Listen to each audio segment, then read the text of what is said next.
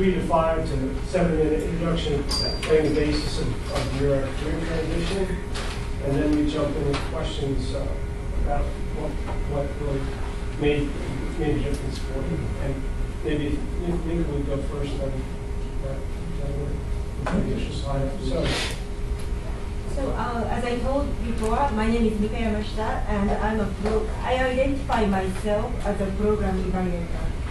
And um, starting next month, I'll be working as a program analyst for the Peace Corps, uh, where uh, I will be looking at their safety, volunteer safety data, and uh, come up with recommendations, and also evaluate their training program. And I'll be working with a group of researchers and also program uh, people to do this work. And before that, uh, for the past six years, from 2013 to until last Friday, uh, I was a senior researcher for uh, research in a small uh, non-profit organization, which was advocacy and uh, membership organization and it, it was about 20 to 40 pe- staff, whole staff members. Within that organization, there is a small research unit which has three people working, and I'm one of them. And I did uh, I did research to support their advocacy work, meaning getting data to support their advocacy work. But also we had uh, externally funded program evaluation and research project. Uh, when I left last week, uh, I was a co- co-principal investigator for the NS National, National Science Foundation funded project. And uh, also we had other projects too.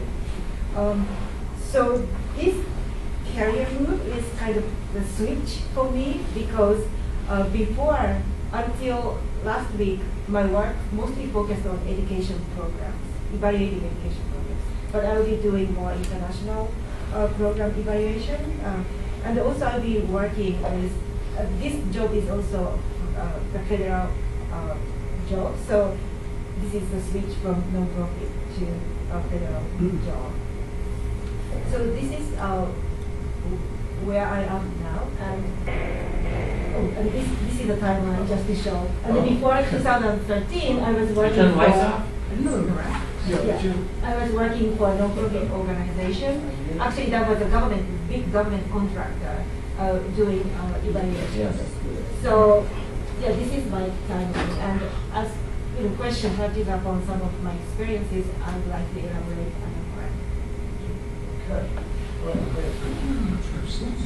on the okay. Well, Ken and I just found out that we should have done slides, so we're not as prepared as. I'll tell you this. Sorry, you with this slide. So, so Ken and I are just going to tell our stories. Yeah. I guess for me, my story started, I had been at a company for 19 and a half years and really thought I was going to retire from there. But things changed when we got acquired. And then, you know, the, was a whole new culture, a whole new way of doing things. And so I found out that after a, a, a brief transition period, that my services were no longer needed. And so I found myself in transition, and I did what most people did. I tried to find a job on my own, and I did that for about you know 10 months unsuccessfully, absolutely pulling out my hair, not knowing where my resume was going. You know, I would not hear back. Uh, I had no feedback, and really didn't know what to do. And I hired a career coach, and he recommended this class.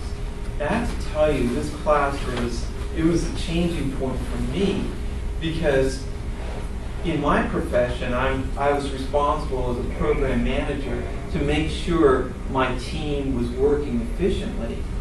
And what I found is like a lot of the employers were like hesitant to even give me an interview seeing that I had been in transition so long because they want to see people who are efficient and effective. And if I can't effectively manage my job search, why would they even entrust me to manage huge teams? So I found some challenges there. And again, uh, I think later on, if, are, are we going to, you have a list of questions Yeah. first that you're going to get through? I think, was it the list I saw on the webpage? Right, yeah, Okay. challenges. Uh, all right, so I'll, I'll, I'll, I'll leave that to the appropriate time. But I would say that the class really helped me in, in several ways, primarily in helping me focus on what was important to the companies, you know, the message that they wanted to hear. What I didn't realize when I first came into transition is that I was actually really self-employed as a salesman peddling, my services. And until you understand that, it's kind of hard to really position yourself in a way that you're going to be appealing to the companies. And I think that was one of the things that really a big turning point for me once I got into the class and sort of learned the 40 plus way. So, oh, and now I, I guess I should uh, tell you that I am I'm, I'm employed. I'm an insurance agent with the Knights of Columbus, and then the the executive directorship here is you know volunteer activity, and I do it because I really believe in the mission, and it's really helped me.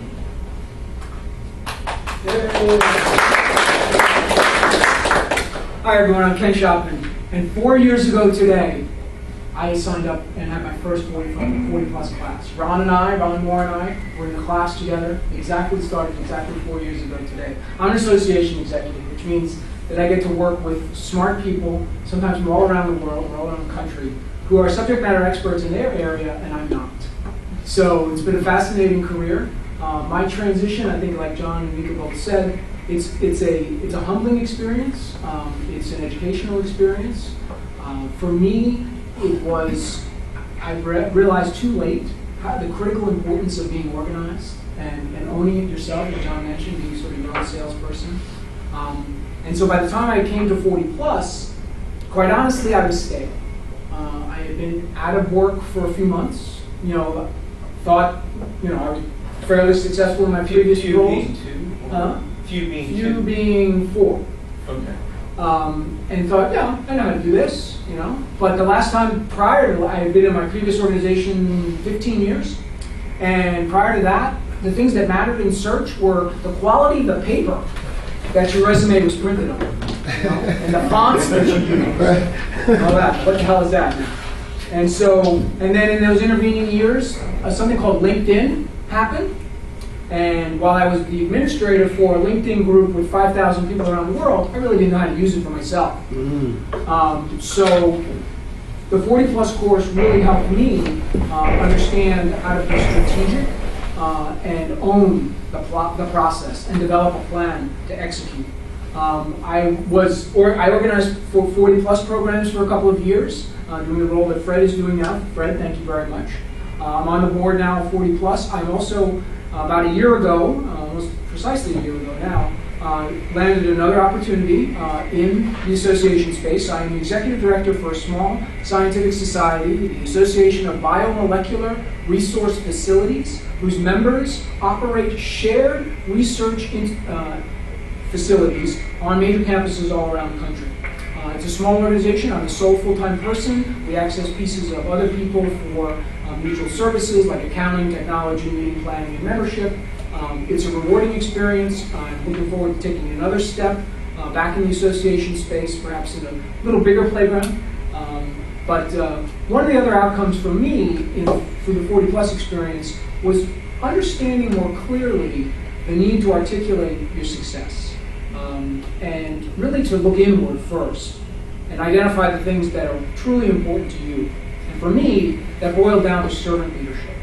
Um, I recognize that you know, sometimes that sounds like a really squishy uh, quality or characteris- characterization of yourself, uh, especially for men. Uh, there's a bit of sexism around that, perhaps. Uh, but for me, it's critically important. And you know, as I look ahead to my next chapter, it's definitely going to have to be focused on servant leadership. Um, I'm not someone who comes in and says it's got to be my way or the highway. I really want to build consensus and create things that are valued for the community that I work with. So that's enough about me. Just one quick thing, because I've, I've had slide envy. Um, so this is just a, an, an alternate. You know, we all we, we can talk a lot about resumes, and you probably heard many different things.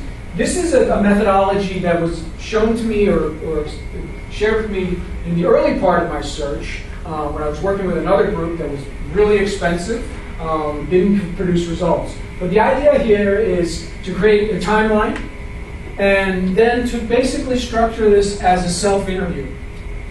So these are these are not your standard interview questions. Tell me about yourself. What's your greatest weakness? Yada yada yada. Um, these are more. It's an opportunity for you to share a little bit more. And the way I've used this in my search is not with the cover letter, not with the resume, not at that stage, but at the interview stage. It's just a little extra document and insight to share with prospective employers to help you stand out. So again, just a little bit of Q&A format. It's a little, for me, I structured it as a little bit reviewing. So I talk about servant leadership, I talk about some of the things that are important to me, my leadership style, and so forth. Because for the organizations being in the association and nonprofit space, I think it's a little bit more of a personal connection in some respects than in the for-profit community.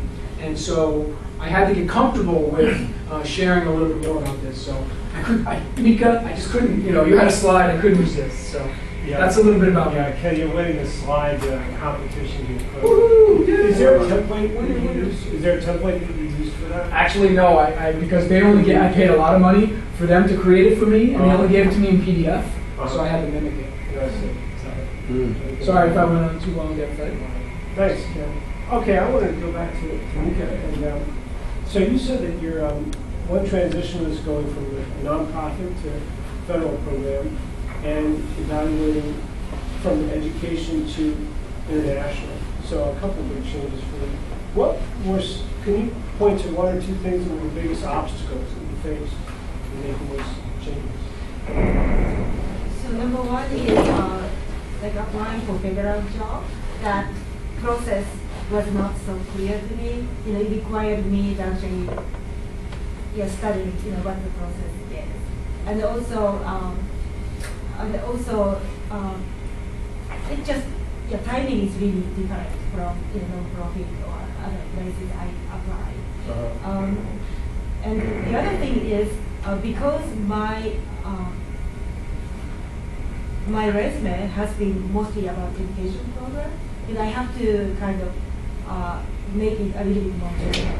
And actually, when I was put, when I put my LinkedIn out, uh, actually a couple of recruiters, you know, contacted me, and one of the most helpful suggestion of this one particular recruiter was, you know, he he talked talked with me over an hour and went over my resume, and he suggested, you know, for the position he's thinking about, you know, I should you know, focus on to be more, you know, general, you know.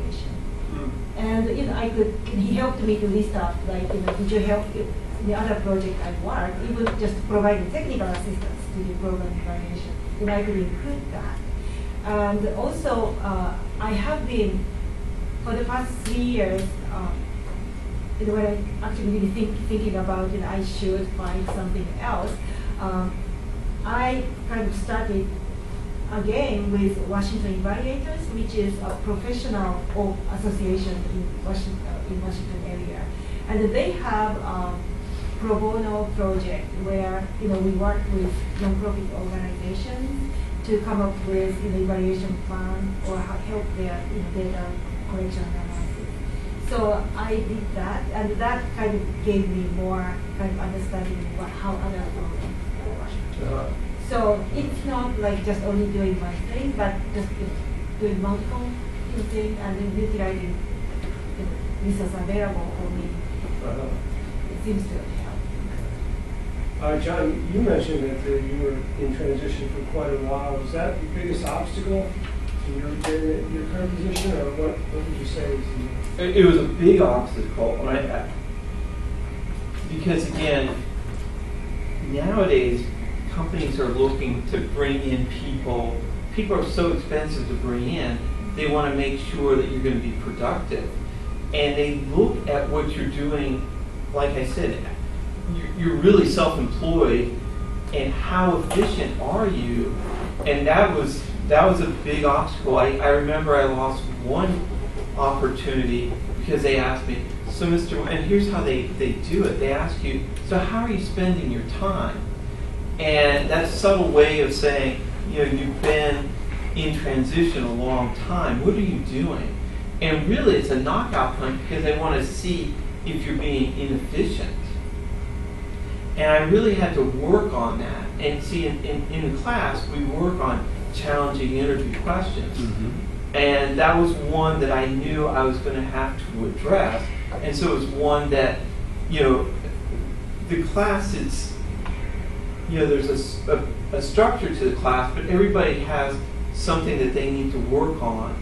And for me, working on, you know, the answer to that question and some other things I, I need to work on. But that was certainly one of the more important things. And I, I feel like now, because I, had, I went through that process for me, I'm able to help others who, because I'm also a facilitator, share that experience with the students when they're coming in. Yeah, be prepared for that question. Well, what is your answer? Oh, well, What was it then? What would it be now? all right, so the first time when I lost the job, I mean, literally turned a 20 minute phone interview into a 15 minute phone interview, was I said, I'm spending my time looking for a job. And at that point, I think I had been in transition for six months. And this was a very get it done company. And they're looking at if he can't find a job in six months, we're out of it. So then, after taking the class, I said, all right, I need to be doing something in this time of transition. In the class, we teach a couple things. One of them is volunteerism. Another is, you know, working on your skills. So what I did was I joined the Toastmasters Club, and uh, i'm still a little confused as to how this happened, but they nominated me as president of this brand new club, and I had absolutely no experience in Toastmasters. But when I got that question the next time, I was able to say, How are you spending your time? I said, Well, I'm using this time to improve my communication and leadership skills. I've joined a startup Toastmasters club and I'm serving as its inaugural president. I spent the last week working on our vision statement. And as soon as I said that, the whole nature of the interview changed. Prior to that, all the questions looked like knockout punches, reasons to not hire John. And immediately after that answer, they started saying, Well, Mr. Wilco, we want to share with you some of the benefits of joining our firm. Uh-huh. And so that was a big buy. And of course, I got the job offer. And so, but that was just step one in what is a career transition for me. But it was an important step. It was that first job. Now, was it my dream job? In some ways, yes. Some ways, no. It was. It was what I wanted to do, but it was way too far away from home. You know, I had two-hour commute in the morning uh, that I could not, absolutely could not avoid because I had to drop my son off at daycare. And then I had an hour commute in the evenings only because I was working so late that uh, traffic had died down by then. But you know, commuting three hours a day, um, Monday through Friday, plus we were expected to go in on Saturdays, and so I would literally have on a good week 17 hours of commuting time on top of um, you know working a 60 to 70 hour week job. It wasn't sustainable. So were you looking at that as a uh, stepping stone? It was it was definitely a stepping stone. I was able to get certified pass some licenses. And that was a success bite that I was then able to add. And then the, second time I went into job transition, because I took that as long as I could. It, Mhm. it was six months of this incredible schedule is just wearing me out. I then went into a self-imposed job search, and I landed four jobs in six weeks. Now that's a, a big difference, but the, the value of, the, of taking the class is learning the procedures and building that infrastructure that you need. And once you have that infrastructure built, then it's much easier to go out and be in transition. Mm-hmm. It also gave me the confidence to go ahead and put a self-imposed transition on myself as mm-hmm. opposed to being too afraid because I wouldn't know how long I would get a job. Because again, after I took the class, I landed a new job within two months. Which, if you really know what you're doing, the two to three month period is really all you need. If you really, really know what you're doing, you can get in a much shorter period, like I did, the Yeah. the multiple job offers in six weeks because you have that infrastructure built. Just quickly, and were you applying the second time, or you, you were still working in that? No, I actually Yeah. had I had actually left. Yeah.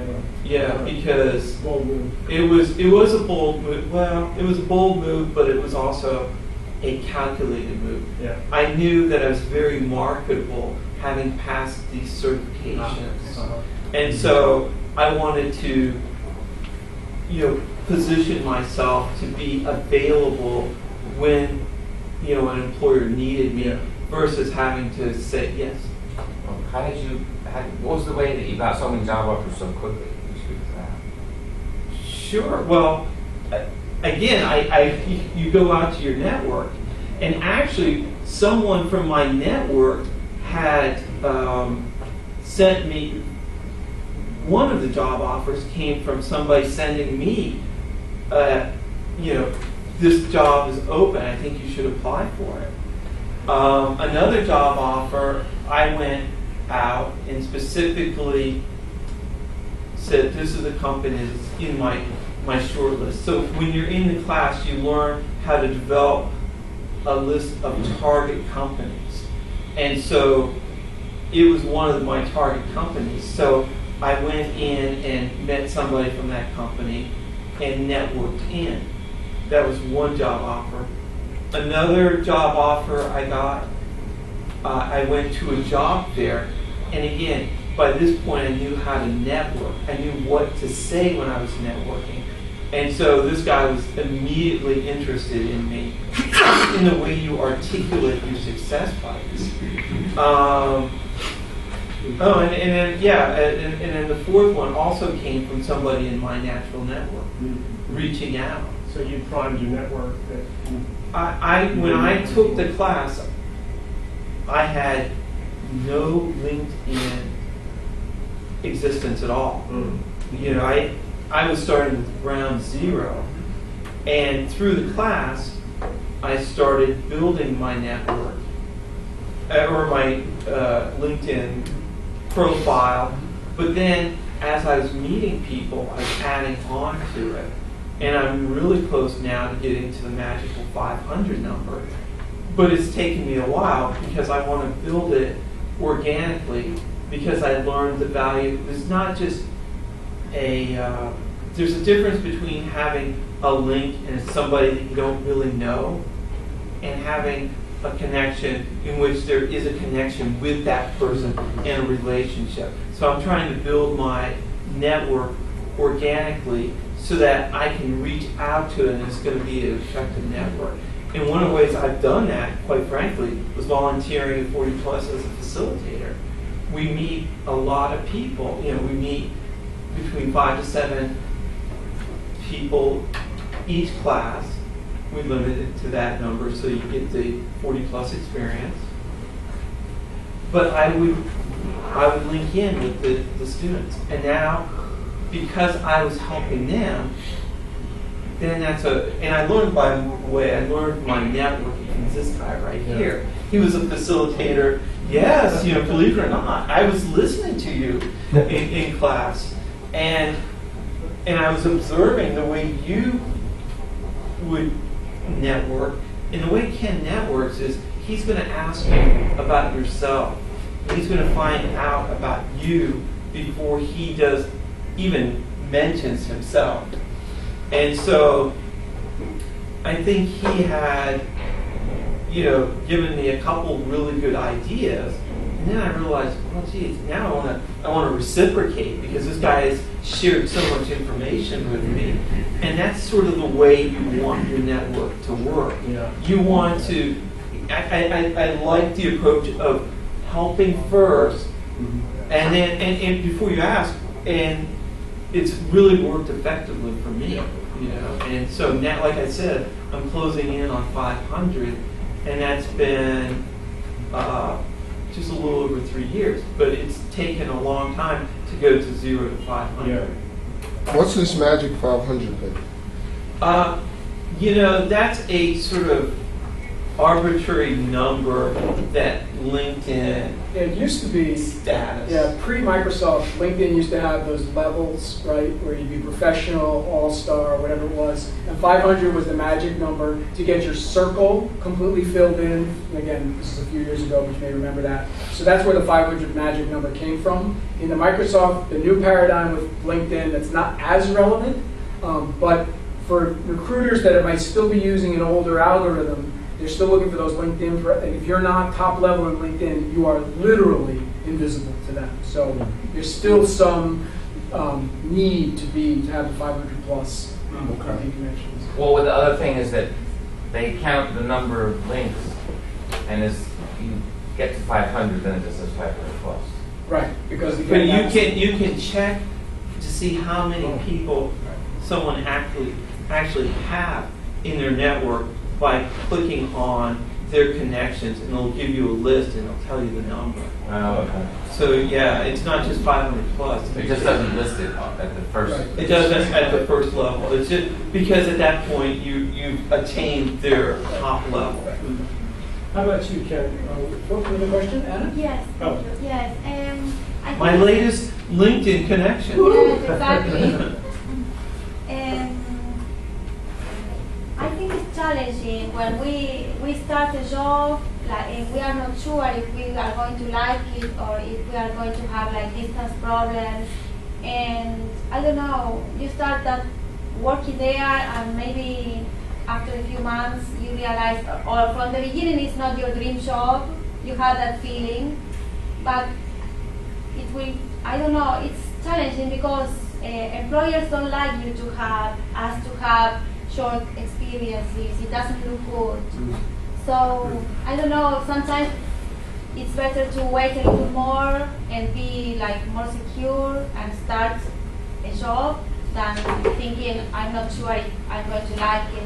Maybe i want in, in one month i want to quit or and i have to start again looking. Mm-hmm. I would say go ahead and take the job. Because in any job you're going to meet people and you're going to build relationships and those connections. So the the one thing I do now is when you start a new job, start linking in with everyone because it's sort of like the honeymoon stage and everybody will link in with you. Yeah. And and what you find is that people now are only staying in jobs for two to maybe three years. Now they're in another company, and that might become a company where you would love to have a connection.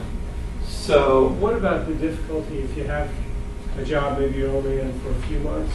Is that what you're concerned Yes. about? Yeah, and if that's gonna look bad to your next employer, if you look like you can't stick with it. I, I- I think it's going to depend upon why you left. Yeah, And so, one of the things that you want to do is say, all right, I took this job for X reason. Here's what I learned about myself, and here's what you can expect. And so I'm much better able to make a commitment because now I better know what I'm looking for. And so, what you want to do is show them the learning process that you went through because they're going to have concerns that you're going to jump, jump, jump, jump. And what you need to do is explain what you learned and why this job is going to be a much better fit for you. But you're going to have to address that. Yeah, and sometimes employers like make uh, make the offer very quickly. Like, can you start on Monday? Like, yes or no right now? And and you are, you don't know how it's going to be. They are not so clear about how the day is going to be. Again, a lot of things you're not going to really understand until you try them. Right. And there's this whole concept of fail forward. So you need to try something, understand what it's like, and then, you know, again, even though I took that one job for only six months, I was able to say, look, six months was enough time for me to understand that this is a line of work I want to be in. I passed these certifications, so you don't have to pay for that. And so it made me much more valuable the second time around. And I knew I was going to have to to really deal with that commute, you know, because there was no way I was going to be able to move uh, because my son was, you know, just just because of my family situation, where my wife works, etc. And so, but I also didn't know how grueling it was going to be too, and that was something I was able to speak to in my interviews. It's like, wow, I just underestimated how much commuting 17 to 25 hours a week on top of a 60 hour a week work job was going to how it's going to affect me. Good. So the job that you had to commute, is that where you, you got some of these certifications? That's where I got all On this. their dime, okay. And that was in the Uh, insurance? Well, on their dime, but I'm also Their time. producing. Yeah. Okay. Well, it was a it was a tight. They had a very intense training program, uh, which actually also was one of the reasons why I chose them. Um, again, I have nothing but good things to say about that company. It was Foresters Financial; they're a fantastic company. It was just I would I would work for them in a heartbeat if the if it wasn't so grueling on me that commute. It was just it was just too much. So question, because obviously you had those challenges, you discovered those challenges, but you, you know you had prioritized why you were gonna do this for this time. Right. It's all part of the the you know we learn job search plans, but then you you use those concepts that you gain from the class and you apply it to your career. And that's really what I was doing. I learned the concept and I applied it to my career. And I said, you know, sometimes you, you have to manage your career now. It Used to be you'd be in one company and there would be training and you would move up. Now you have to take it on yourself to get the training, to get the learning. And they know that they'll cut you in a heartbeat if the economy turns. So it, there's a lot less loyalty on both sides now. That's just the new dynamics. And you have to realize this and you have to adapt to this or you're going to perish. So your, your, your, then your priorities once you were in there, it was your self-education, Right. your networking, I was networking. networking, so to keep that still live, right? Yes. And then anything else, or were those two your, Well, I I was learning, you know, the profession because it was a career change for me. right? You know, I went from software development to financial advising, and so there there were a lot of things that were I was able to use in that background from from my software development years, and also from the background in CPA, and so I had that certain knowledge. But yes, there was a lot of things that I had to learn, and one of them was the ability to sell. And so in a software development, I was designing, you know, how the software would work. but I didn't really have to sell it. That was job of somebody else. And now, what I learned, I guess my biggest lesson was I learned now that you really need to learn how to market yourself. And there's not a lot of places that you can learn that, but certainly the 40 plus class is one. of them. All right. Oh my goodness. Oh. Aaron's got all the questions. Hold on, Yeah. one more question. Guys, you got a question? I wanted to get to Ken, um, and make sure you had a chance to talk about your lessons learned, the biggest obstacle. You said you were stale, you've been working in one nonprofit for fifteen years, Yeah. when you came to the job hunt. What, what were the th- some of the things you had to, uh, overcome? Sure. So it's really about that, about recognizing, as John has said, make the most of your network while you're working. And for those of you who may still be working, um, really capitalize on that. For, for those of us, who, for those of you who might be in transition, you know, try to keep those connections warm if you can.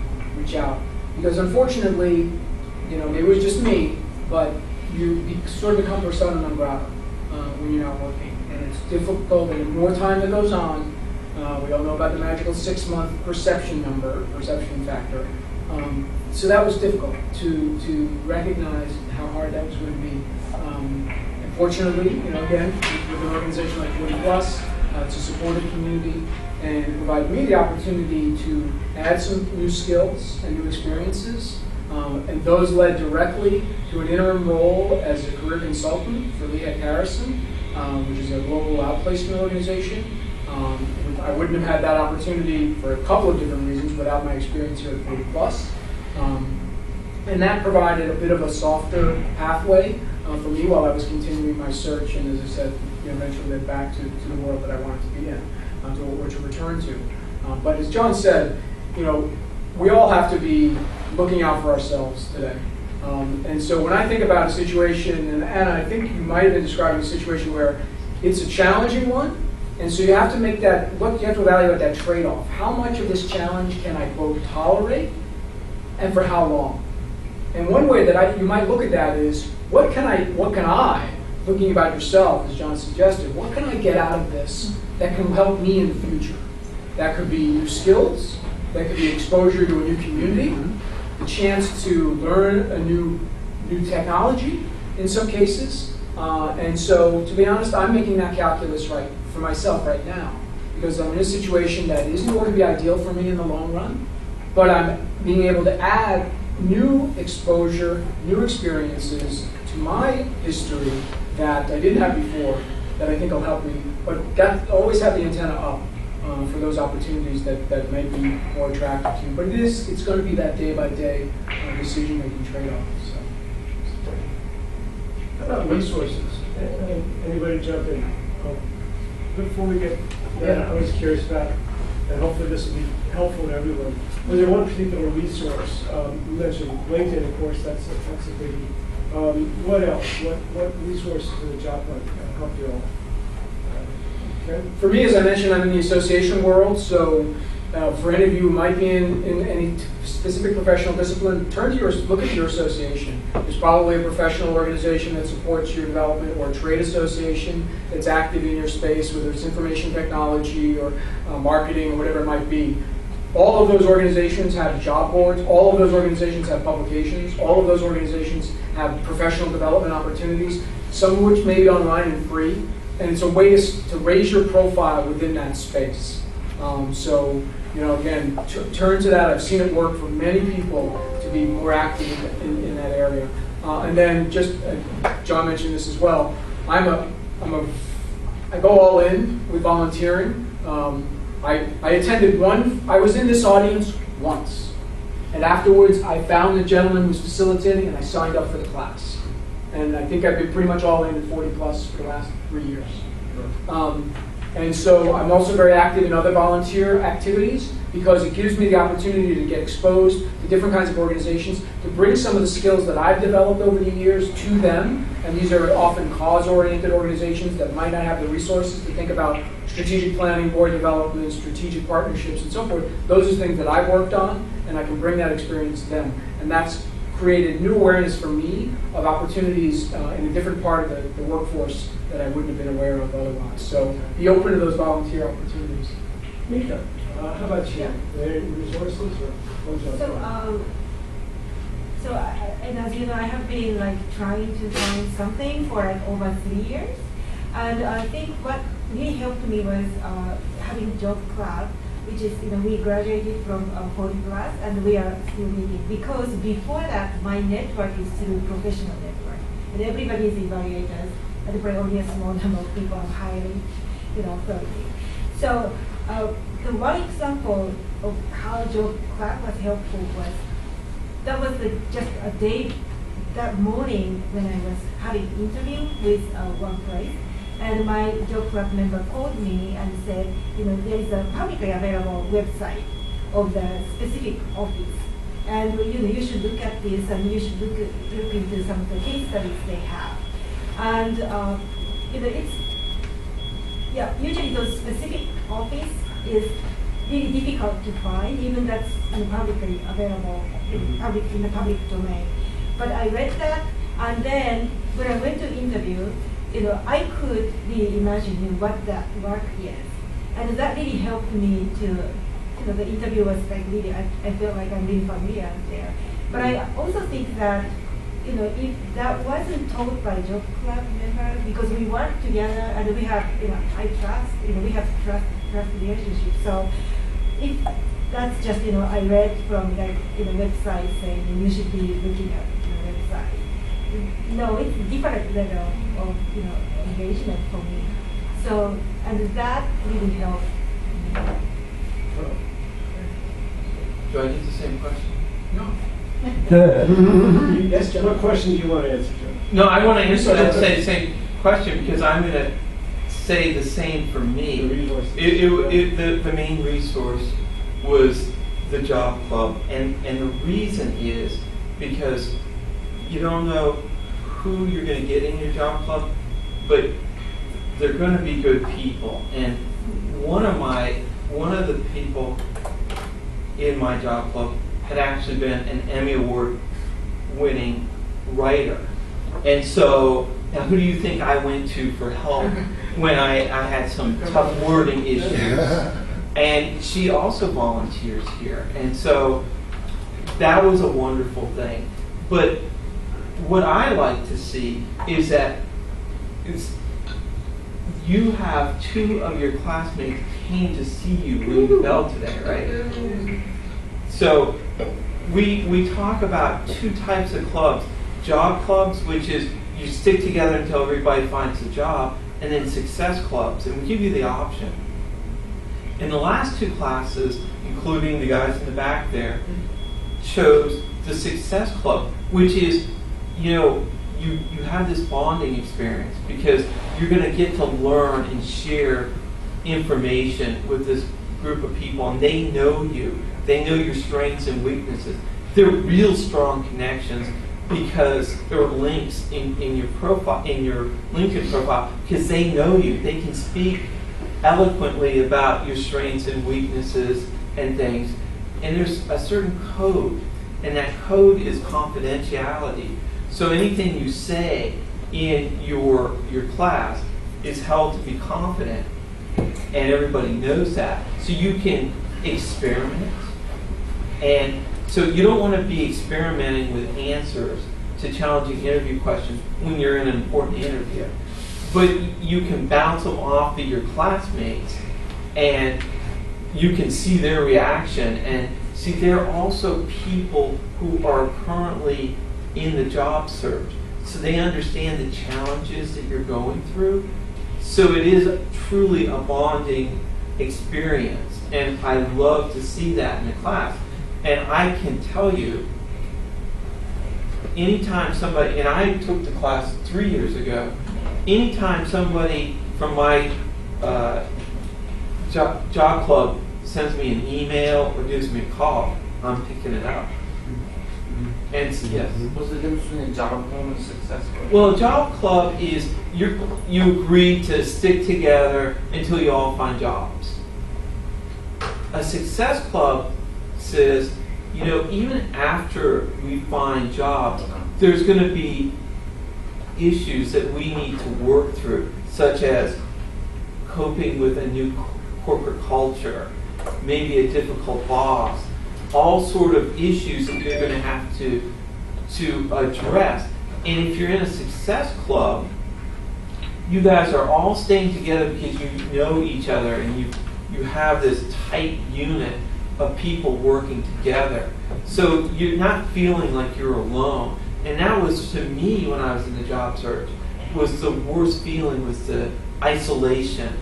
But now I know I always have this job club that I can always call on. And, you know, it may be, again, now it might be an issue that I'm having at a company, you know, oh, I don't like the co-worker, why? What do you, what do you think about this? And you can, and you know that it's going to be confidential, and you know that they know you, and they're going to give you honest feedback. And so that's very helpful. You still meet, or just like as needed calls? Um, well, again, if you have a success club formally, because success club is something I came up with after volunteering for a while. Uh, when I was going through, we only had job clubs. And so then, and I see Tom with. Tom wants to say something. He wants to say something. Yeah, I just want to, if I may, uh, uh, give you the definition of what a job club really is. I mean, traditionally, a job club is a group of people that get together, maybe sponsored by a church or another organization, and the purpose is for them to get together to understand how to write their resume, practice interviewing skills. Everything that we do in the class generally happens in a job club, okay? Traditionally. So it's better that we're calling it a success club because, you know, the job clubs that are formed after the class uh, adjourns, uh, everyone has those skills. So it's now, you know, you can practice with each other, but, but it's basically um, the idea to more, to network and to help each other understand, you know, the directions to go in to find opportunities. So- Whereas the Yeah. success club is going to go one step further. Right, and- And you're going to start talking about issues like career management and strategic things that you can do. How am I going to get this? You know, your job club might identify, hey, this is one of your weaknesses. This is an area. Well, how am I going to get that experience? Well, you could volunteer here, or you could do that. And at 40 plus, one of the things we try to do is when you volunteer, I'm going to ask you, all right, what is your what is your goal? What do you really want to get out of this experience? And what will help you in your job search? And it's because of the whole mentality, success bite mentality. And I see that the man, the, the success bite man is back. And it's nice to see you here.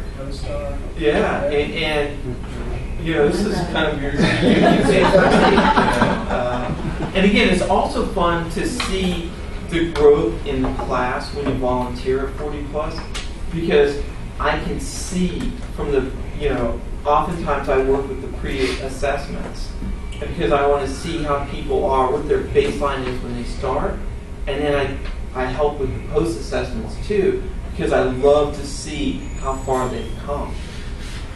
Yes. Well, Did you, did you move? I did. Um, I wanted to say this has been really, truly very helpful. It has been incredible.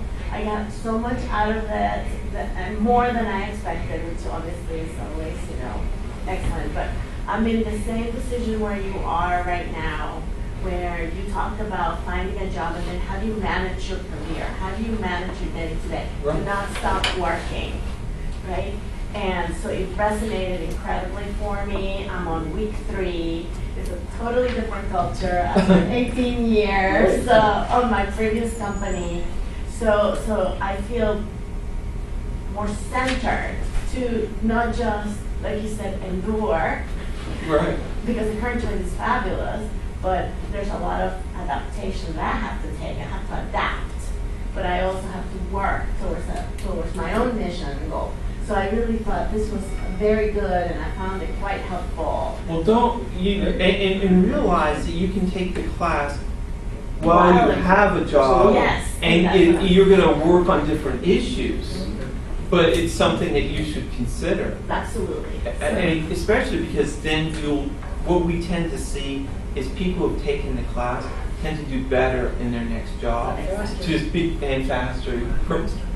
Yeah, it's No, so I wanted to let you guys know it was very good. But you're leaving, why are you leaving? I know because I have to go back to work. All right. Oh, thank you good reason. What a tragedy. Other questions? Talk to you later. Back to work. What- Yes. Yeah, I, I have a question. Uh, uh, well, for everybody, but I guess uh, we can start with you because you, you mentioned um, volunteerism. Yep. And I wanted to explore that a little further. So um, I'm trying to frame my question so it makes what I'm, what I'm, what I'm trying to ask is uh, volunteering at what? So, by which I mean, to make another kind of rough analogy here, and then, so Anna, you were talking about like, okay, a job that maybe it's not perfect for you, okay, maybe apply that to the volunteering, Sure. right? Is it, I mean, volunteering is, is, is, is giving of your time and services for someone else's Right. benefit, succinctly put. So, how, I mean, is it better to just volunteer wherever to help people? Or should, is it volunteering, like you should really be managing your volunteering too, to pick out specifically something that's going to, It's depending I don't want to sound selfish, but you know, redound to your Sure. benefit It depends upon what your goals are. I mean, if you're someone who's particularly passionate about a cause Right. or an organization, go do that because that's going to make you feel good. But competency-based volunteering is a completely different situation, and that's really a little bit about what I was referring to. So there are opportunities to apply your competencies, your skills, to organizations that need them, and there's a ton of groups in this area that can do that. If you want to get started really simply, there's a, a website, volunteermatch.org that's going to have the spectrum. You're going to be able to read to, to the elderly or to young kids, tutor young kids, if that's what you want to do, and all that. No, that's really sort of more cause-oriented volunteering.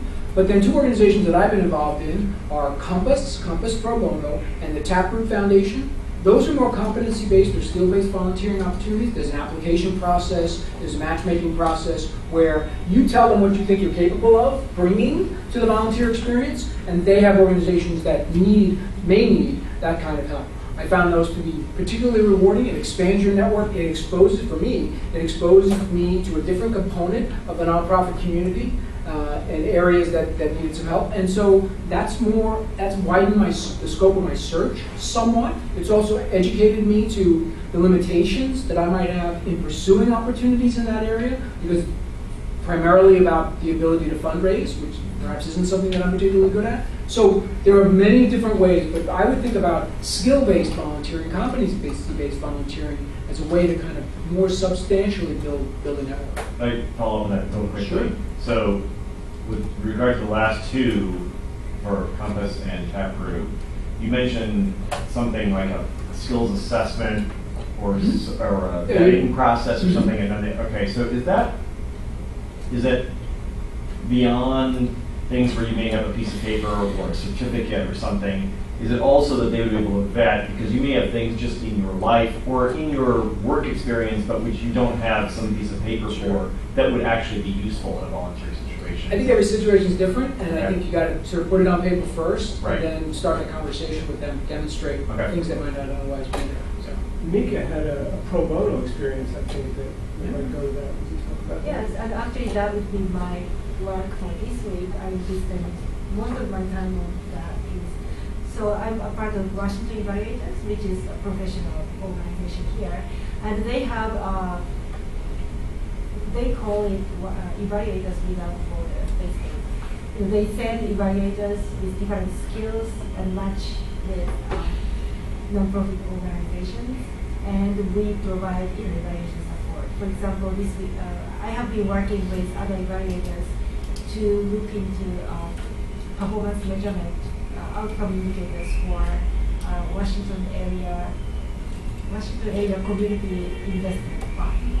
Uh, so I have been working with them, and I think it, it's a good opportunity for, for example, you know, for for, for me, because I, my area of evaluation has been pretty much limited in education for the past six years. And also, uh, seems it's a good way for you know, people to just do some activity. And also, you know, they can build the experience like actually working in, in a DC organization. So you were getting experience evaluating different programs for education. get. And also it's good, yeah, good to work with other people because, you know, once I do work with others, you know, I can feel like I can ask more. I, I can ac- actually ask and they can ask me, so I know how, you know, other people work. And that's volunteering through a professional organization Yes. directly in your field. Yeah. Big focus. yeah. Yes? I have a question about the volunteering. I've been doing some of that um, with organizations that do work that I'm interested in, and I produced like this report, which was served to some public officials. And sometimes I worry that, well, I mean, in this particular group I'm working with, it seems like a lot of other people there, they're involved because it somehow relates to professional interest. Some people, it's more just they're interested in it and they don't really have a professional Sure. job. But it seems like, well, sometimes it's like, wow, you gotta watch out because if they know all you're doing, you know, if you're only doing it for professional reasons, like, oh, is that person, I understand. if you're actually not really doing it to help them, but to help yourself, is that a problem? As long as you're bringing skills to the table. No, I understand that. Right. Even then, though, because it seems like, ah, I, I think it's going to Could depend upon the the culture of the organization. yeah, Now, at 40 plus, we want we're looking for win-win opportunities. Of course. Right. I want to make sure that if you volunteer here, you're getting something out of it. Um, because I know that we're an all-volunteer organization. In order for us to survive, I have to provide something to you. of course. Um, so we're gonna we're gonna have a different process, right? We're gonna have a sit down and we're gonna we're gonna come up and with a plan. It could be that I say, I'm sorry, we just have nothing that that will help you, and we'll walk away from it, you know. Uh, but for me, it has to be a win-win situation, or else I don't want you to do it. The other thing I don't want you to do is volunteer so much that it interferes with your job search. And I've seen that. And so Yeah. at, at 40 plus, except for Fred, Ron, and me, and Ken, you'll find that out later today. Uh, no, it, you know, we try to limit the scope and give you a specific thing to work on so that, because we know that you could leave as soon as you find a job. You may not have a choice, right? And like I said, it could be something where, you know, you're, you're an accountant and you're bringing your accounting skills, great, we need that, thank you, we love it. Or you could be an accountant, but you've never, you really want to bolster your public speaking. Sure. Again, we have those opportunities too. The needs are many and the hands are few. So, you know, there's, there's either of those opportunities are here. And we're going to match. We're going to find out what you need, what strategically is going to work for you. But again, the, the benefit of taking the class is that you're, you're coming into a community, right, where people know each other. You know, like Tom and I have been facilitating day H for three years now. And so he knows a lot about my strengths and weaknesses and he can give me very good feedback that nobody else will. But I'll, I'll give you an example. Aaron volunteers for us, and if Aaron needs somebody to give him a recommendation, he can come to me, and instead of saying, "Yeah, he, he's volunteered here," I can say, "Oh, I was really impressed by this one instance where I came up with a question for our survey, and he said, John, you have too many options that you're going to, you're, you're giving the people, and it's going to distort your data. We need to, to combine it into, you know, bigger classes so we get more meaningful data. Now that's a very good recommendation because it's very specific to the company. And they're going to say, oh wow. And I can say, I sit in meetings with him and I love the, the quality of his, his comments. and I can say it earnestly, and I can come up with specific examples. And that's the difference. So the more specific the example is, somebody can, you know, one problem that we see in a lot of the pre-assessments are people making claims. I'm a proactive person, or I'm a good communicator, but they don't really back it up with evidence. And what you learn in the class is that the more specific you are, the more uh, persuasive it is. And so that's what you work on in the class. And it's a skill, it's a skill, yeah, it's a skill that you, it, it takes practice. And we provide a real safe environment in which to get that practice. How about any questions? You know, you've got three folks up here that one way or another, have gone through some transitions. All of you have gone through transitions. Are there points that you're, you're struggling with, things that you need some help with? Yes, sir. I'm sorry, I that's a question. Yes. I've done a lot of networking and I'm still looking for a full-time job. I'm doing some consulting, which is really good. Um, so one thing I want to do is turn one of these consulting things into a job. So if anyone has insights on that. And I guess the other thing is like, how to know like how much to use your network. And it seems like sometimes, you know, maybe the network gets stale, maybe it gets too hot. Too hot? You're too, you're there. Oh, yeah, you want to be in their face every day, right? Oh, I know that, but I Oh. just oh. like, if people are like, oh, I've been looking for a job for a while, what's going on? And then, in one case, I'm been involved with this uh, kind of quasi volunteer work, but there's a job, possible job component to it, and then I asked, well, I told someone about a job at the organization, she wasn't the hiring manager, didn't hear anything, and I was like, oh no, like, it seems like, you know, sometimes like, you can get too close, and your network is like, oh, I'm gonna help you in this way, but not in this way. Well, How to and, manage that? Like, I'm not- I'm not sure I understand the question. Well, here, here I, I- I'll address it. how much can you ask of your network? Like, basically, I want to work at this organization. How much goodwill have you built up with your network? And Yeah. that's, that's gonna really be the driver, you know? And that's why I said I grow my network organically, and I grow it by helping first. Of course. And then, then I have all these deposits in different places. So now, if you are developing a network when you're needy, that's different than developing a network when you have things to offer. And so a lot of people are trying to develop their network when they're needy. So you have to break this mentality of give me, give me, give me, and go back to what can I offer you, Okay. and, and, and build it up. Oh So- no, but in this case, I am offering something, and I was on the phone with this person, like, oh, if this organization, basically talking about a new project, and they said, oh, maybe Adam, you could be the person for this, like a part-time job. And then a week later, I found out this other job at this person's organization, and I said, I just want to let you know I'm applying. I Didn't hear anything. It was like, well, she obviously was considering me for a job that she would sort of have influence over hiring of. And then I, shortly after that, I said, oh, what about this other? Like, here's another.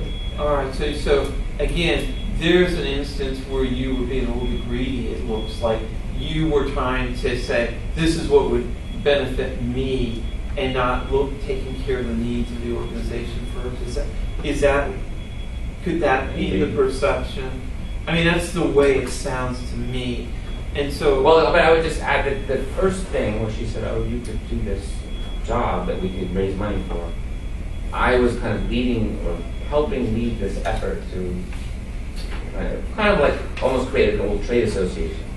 So I was trying to give back, so to speak, and she, without me saying anything, said, "Oh, maybe you could do this." I'm like, "Great." And then, then did you take it to the next step and perhaps sketch out a proposal or? Well, I know that, that we had this follow-up call, and I volunteered to help that, move that process along. But in the middle there, this other job came up, related, well, the same organization, but a different job area. And I just said, oh, I want to let you know I'm applying, I didn't even ask for anything. And it just was like, no response, I was like, oh no. Okay. Regarding consulting, um, you've probably seen a lot of speakers here at 40 Plus that have kind of put out their own flag.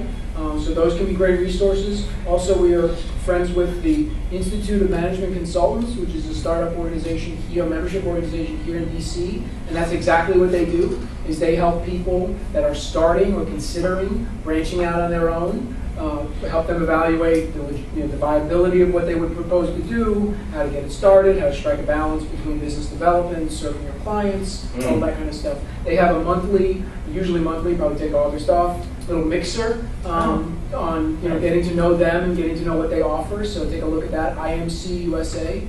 Uh, dot .org. Our friend Linda Howard is the past president of that chapter.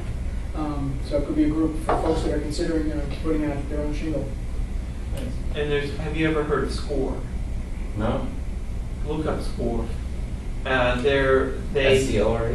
SCORE, yeah. Service Corps of Retired Executives. Yes, and they're looking to give back and so they can mentor you as you go through, because there's a lot involved with starting your own business. Another question. Um, I was going to take your, your, your scenario and maybe rephrase it into a more generic question. So, you know, you mentioned uh, giving people at 40 plus, if people volunteer, you can do a discrete task to work on, and you're aware that it's volunteer, and so if they get a, a, a job, they may have to drop that. That's right.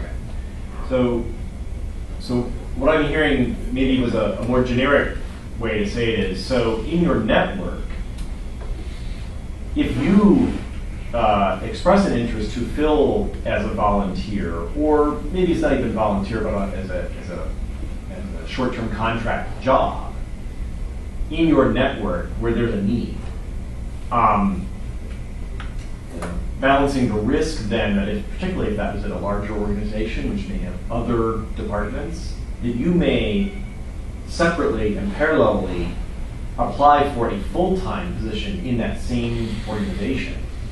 The person that you initially offered your time to now is saying, well, wait a minute. Well, You- yeah, this you- is where yeah. communication is important. That's right. Yeah. Yeah, I mean, first of all, if you're volunteering at 40 plus, I don't want you just to leave us hanging. So I will be upfront and say, you know, at a minimum, I need this. And then I would hope that we could work out a transition plan on the back end. But I understand that your primary job is to find a job, right? And so I'm not going to preclude using your talents. I wanted to encourage that because it's a win-win situation. But again, it's all about the discussion that you have, and you have to be very clear. You don't want to leave. The worst thing you can do is leave someone with bad taste, and so that's turning a negative, and we don't we don't Right. want to do that. Right. So yes, it's being very clear up front. being clear the parameters with the of that are gonna be. so somebody tells me, you know, John, if I if I get a job, I might not be able to do this. I said, I understand. Let's also talk about what we can do to maybe document what you're doing as you're volunteering, so that if I need to put somebody in there, there's a smooth transition. So there's things that you can do. There are things that you can offer. But yeah, don't don't leave somebody hanging. Now in this situation, you said, oh, there's a full-time job in this organization, which by the way is great because that means you're networking within that organization and you're meeting new people. At that point, then you need to have a discussion with the person you're currently helping, saying, look, I'm very interested in this position. How would that impact you? Is there a way that we can work together? Now, all of a sudden, you turn what could be a sticky situation into a collaborative situation, and that's going to make you an even stronger candidate. So that's what you want. That's the way you want to handle that. Yes. So for both, I guess you, John, and Mika, you both in some ways uh, ha are went to different kind of transition into a different type of job or different type of an organization than what you had been doing for many many years. So what would you say, what were you able to do, what did you do to be able to get that attention so that these folks would even consider interviewing or ultimately employing you, even though your resume may not have been what they were, thought they were looking for? Um, I can, so for, for federal process, this is what I love. Resume is very important. So, and, and actually I have a couple, of my evaluation colleagues who are also, you know, uh, applying for federal work. So we, you know, those people can send me, you know, here is the resource you might want to, you know, look at. You know, there is a document you want to look at. So, but um, resume was very important. So I, I think I kind of spent a lot of time in making sure the keyword is there and level of complexity of my work I did really reflects the level of complexity they are looking for. Hmm. So, and once you create that, you know, depending on how job description was, you know, I, you know, changed it. So actually, it's, it's a lot of work. But resume was really. Um, When you mentioned before about talking about your experiences in more of a general sense, Yeah. instead of specific to education, so that you could talk about what was relevant to, to role. So like there is a transferable skills and each job, what I understood is each, each job series has like, you know, those are the, you know, key competencies you have to meet. So I, yeah, and, and, you know, I try to like link, uh, my experience with that. You know, like when I was writing about research project, you know, that should include research management and, you know, stakeholder involvement. So those things would be team Submission. Yeah. So, and I think, yeah, I think there is a transferable skills, and I will try to like emphasize that. Competence, competencies The specific area that you're applying to. So, For me, I went out and did some research, informational interviews. And uh, one gentleman worked with Edward Jones. And he was very, you know, I, I didn't know him, I just called him out of the blue. And he was very good about meeting with me because he's in a networking business.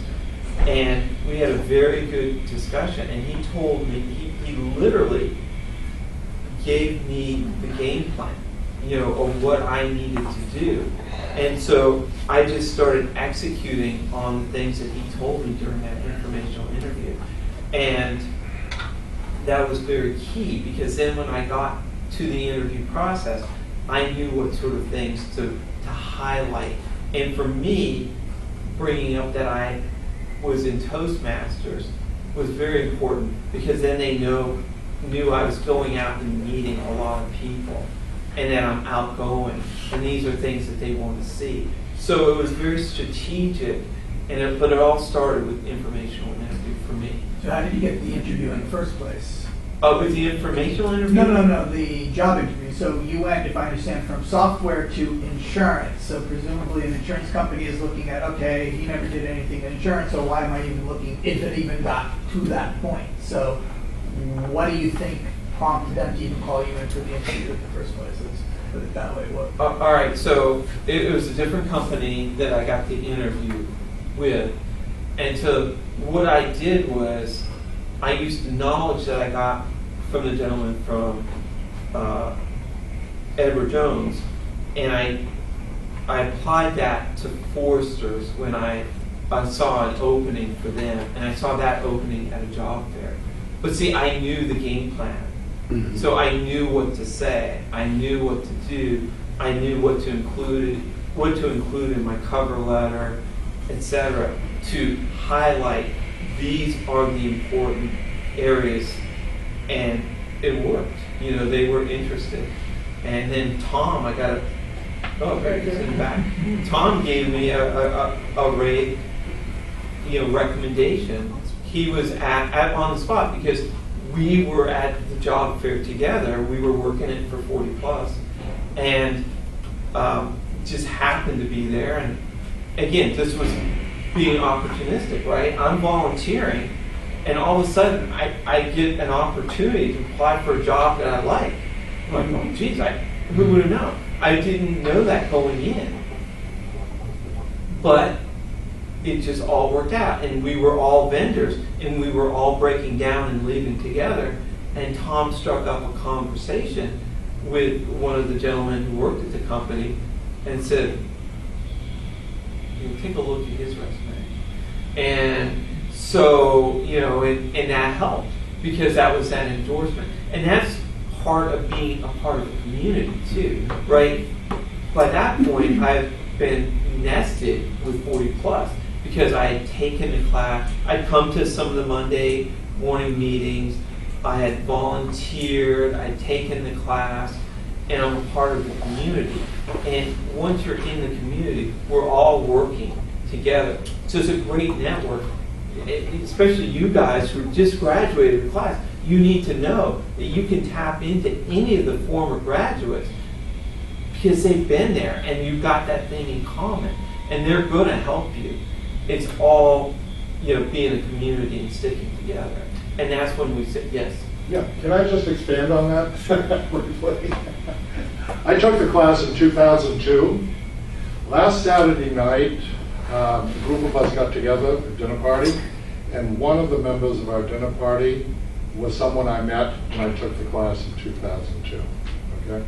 We've remained friends throughout the years. Why is this, okay, so what caused this friendship to uh, become important? I was a, uh, back then in 2002, I'd been a, I was a corporate recruiter in government contracts, DOD and intelligence community. 9/11 happened, all recruiting ended. So I uh, came to 40 plus, you know, I was laid off as all the recruiters were. And I came to some Monday classes, and I had used 40 plus actually in my affirmative action plan. Back then, the class was two weeks, five days a week, you know, nine to five. So it was very intense. One of the members of the class, Ken, he had been laid off in telecommunications. Uh, he was in marketing, telecommunications was going down at that time. Okay, during the, the class, he expressed an interest in building or developing, starting his own insurance company. Okay? I was a silent partner in a uh, software services company. We won a contract with DIA to build systems and counterintelligence.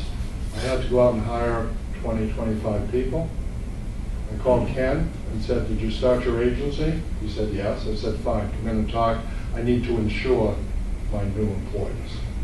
So that, I was able to actually give him a head start on, you know, building his insurance agency. So we remain friends all these years, you know, because uh, we have that connection and we. And Tom, you took the class 17 years ago. Right.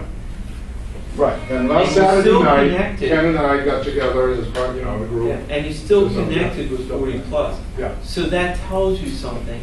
You know, you don't hang around an organization for 17 years if it doesn't mean something to you. The other thing I'd mention. Ten years. Ten, ten, Ten ten, years. right? But Ken, Ken built a successful company, and now he's, uh, he's, he's turning, what, 67 in, uh, in October, and he's looking to sell it, you know? I mean, he's really, uh, but it was because of 40 plus. People said, what have you got to lose? You want to try this? Go out and do it. So you gotta get out there and make things So his happen. class encouraged him to. Absolutely, that's the whole point. And then I was able to bring him in and uh, build, help build, All help right, build and so my, my career transition also occurred because of something someone in my class said. She's like, you know, life's short, Yeah. and you need to do what you want to do. And she's like, you're in a stage of your life where, you know, you can afford to take the, the startup costs of starting your own business. Go for it, or else you're going to have regrets the rest of your life. Tom? Uh, I actually want to share a recent experience. Um, John, can I um, break in here, and I think we need to wrap up the formal part and thank the panel, and then by all means, keep the Q and A going uh, one-on-one, but uh, being that uh, we've gone over, I just want to thank you all for for coming. Yeah. Congratulations again. Yay! Thank you.